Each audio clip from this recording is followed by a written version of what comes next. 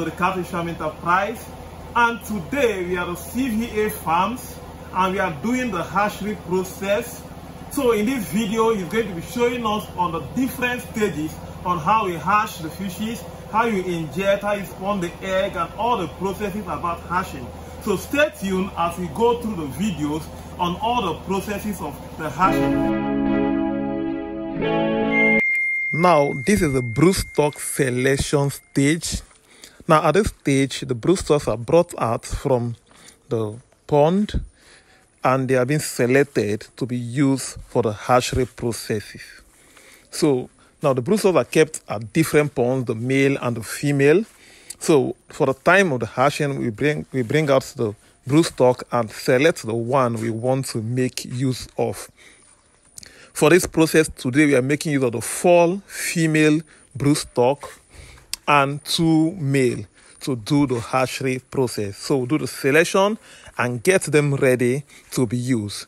So as you can see, the broodstocks are fully loaded in their size and also in the eggs that they have. So in the hatchery process that we are going to be showing you, now you see that the eggs are massive. This is the process for fish production for our hatching. So first of all, we need to we need to first scale weigh the fishes to know their weight so we can we can know the dosage of hormone to give them. So right now we'll look at our we'll look at we need to set our our scale which has been set already can you see it is 1k one it is on zero right now? It's on zero. So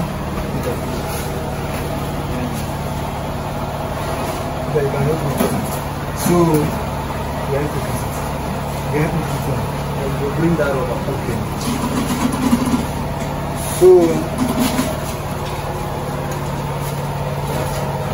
we are going to put one of the fishes you can see our females are gravid. This is an example of a gravid egg. You can see how heavy it is.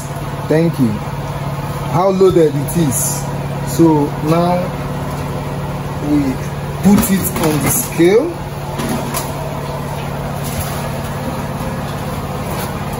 So this is um 4.9 and 3.3.9 kg. So it is stipulated that you should inject half the body size half the body size which is since it is 4 kg we are going to give them 2 ml 2 ml that is half the half the body weight.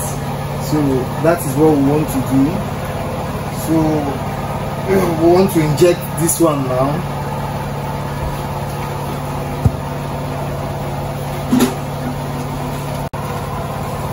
so this is I I I prefer using Ovulin. It is it depends on individual but what I use is Ovulin. And that is what I want to use now. So you need to come forward so I can show you something. You need to come so you get it. In in in fish production, there's a saying that says there's there are many ways to kill a rat. We have it in fish production. So in this segment, I'm going to I'm going to do two different ways, two ways, and after me, Mr. Peter will also show you what he knows too.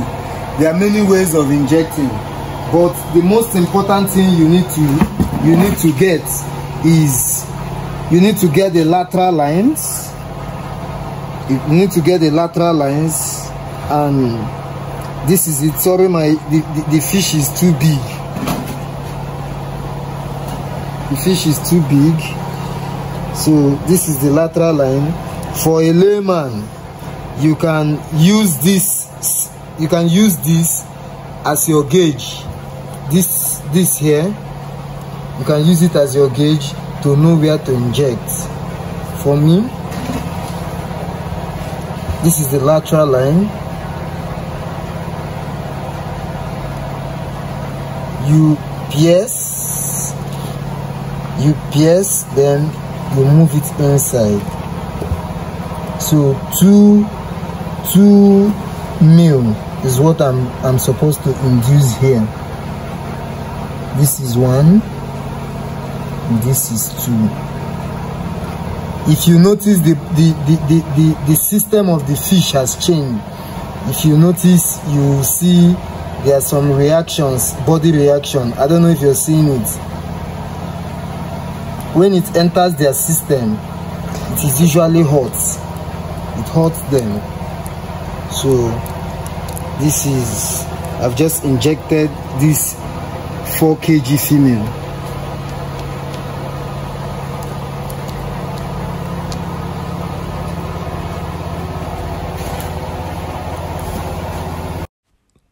Fishes are usually injected in nights before the hatchery process commences in the morning. So after the four broodstock to be used for the hatchery has been injected, we'll send it back to a pond where they will stay for 8 to 10 hours before it is being used. These ponds you see, they've been washed, treated against bacteria for this production. That is why we have kept it dry like this. We have kept it dry. But when we did not have a treatment plant, because we now have a treatment plant that has stabilized our water, when we did not have a treatment plant, today we will fill up the water against tomorrow. Before tomorrow, the water will be stabilized. But now we have a treatment plant. It's for us to just wake up early in the morning, fill up the tanks, then prepare for hashing. Thank you. As the day breaks, the process is also continues in getting the pond set for the hatchery process. So we have to get the net prepared, the kakaban that is going to be used for the hatchery. Then also disinfect. But we are disinfecting it. So we used we used potassium permanganate is a universal disinfectant. We have used it to wash this this net. We've used it to wash this net. So we are now we are now taking it inside to lay our nets.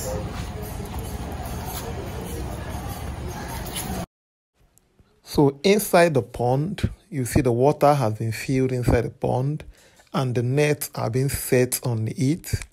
Now there are various nets different persons use during the hatchery process. It's also called the kakaban. Now the net is being set and tied in all the ponds that are to be used in the hatchery process. The pH of the water is okay.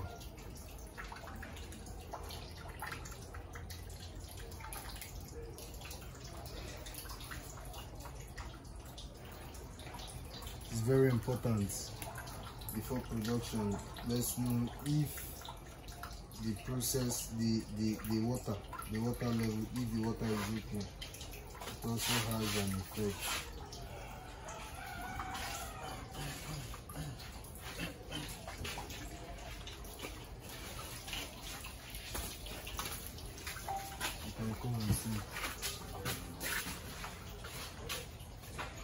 Come and see. Um, this is 7.2. Are you seeing it? Are you seeing it? This is 7.2. Shows that it is okay. The alkaline is okay. Water hardness, you can see, is okay. Iron is okay. Okay, ammonia is okay. So we are good to go.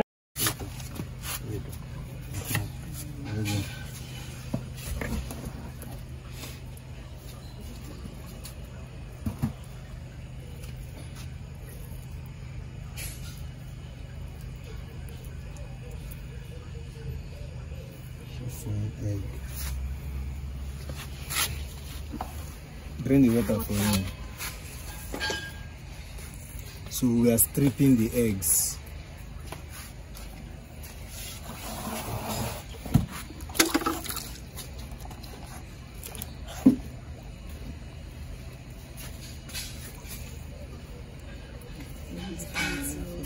It's plenty. Do you know a lot of Lagos? It's plenty.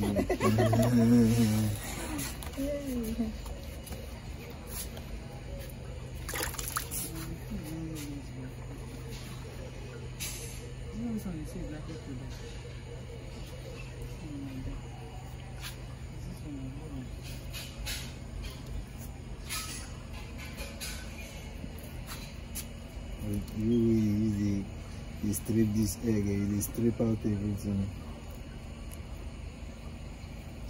Man no come strip the intestine now. is it. Man no come strip the intestine now. no no you, you sabi strip egg you. So the stripping of the eggs continues for the other broodstocks used for the process. wow one point one kg. Eh?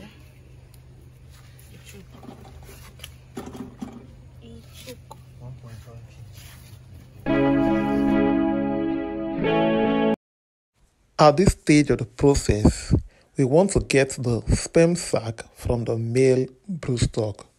So the first stage there is to kill the male broodstock and you dissect the system to extract the sperm sac from the belly. So the process of extracting it means you get either a clear blade or a scissors, something that is sharp that you use to tear the stomach and extract the sperm sac from it. The sperm sac is going to be used for the hatchery process. There are also various ways on preparing it to be used. Now, you, as you watch, you can see it's been cut into a plate and you have your saline solution to do the washing. Now, that's one of the ways to extract the sperm that you need for the hatchery. Or the other phase has to do with getting it directly into the egg. So, these are the two ways it could be done. The prepared sperm solution is poured into the egg and is now mixed together with a rubber spoon. As you can see it's been done. Now most times avoid using maybe metal object to do the mixing. It's advisable to use the rubber spoon in doing the turning when it has to do with the mixing of the sperms and the egg so that's the process for the mixing so after you've done the mixing thoroughly, ensure you mix very well. And after that has been done, you cannot proceed to the next stage.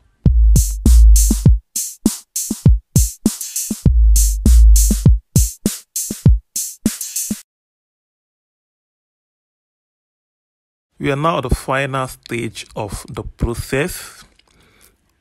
Is spreading the egg on the kakaban or the net, depending on the one you're making use of.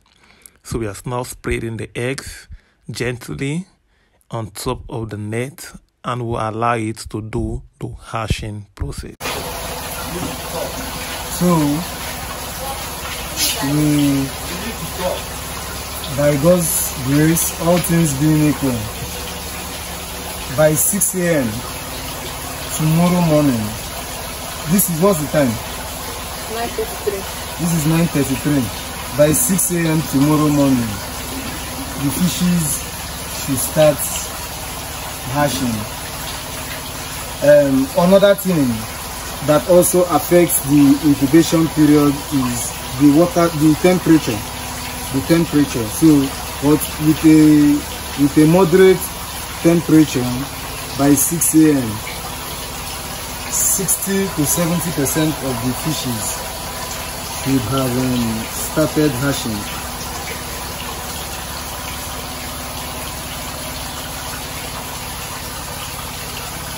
So stay tuned in our next video.